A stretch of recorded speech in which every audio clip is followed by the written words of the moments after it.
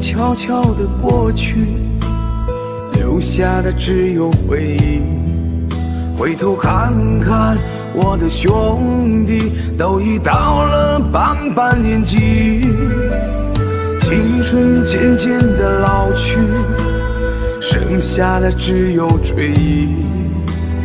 梦里想想我的兄弟，这辈子真不容易。